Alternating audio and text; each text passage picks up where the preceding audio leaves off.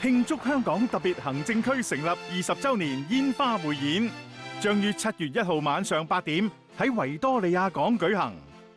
观赏烟花时，记得保持地方清洁，爱护公物。若人多挤逼，要特别注意秩序同安全。喺海上，船只切勿超速超载。当日有啲道路会有特别交通安排，请尽量使用公共交通工具。